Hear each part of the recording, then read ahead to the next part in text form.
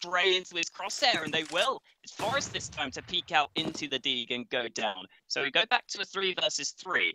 The time is ticking away with 30 seconds left for Space Soldiers to make their move. GeT_RiGhT, struggling towards mid, but what a spray transfer. Gets the two headshots and Paz by himself will elect to try to push towards this A bomb site. 20 seconds left, looks for the headshot and does find it. So the bomb plant might be a possibility now, and with 15 seconds left, you would think he would try to cross towards the site. Bomb planted, but no. Yeah, not much available for him. Molotov's away and low HP. He was never going to survive that in any particular manner or form. Just try and get that bomb plant more than anything else. And XANTARES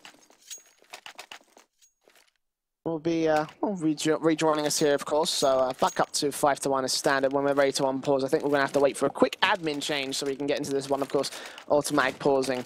So uh, we can get back into this one. So 5 to 1 is going to be the scoreline to start things off.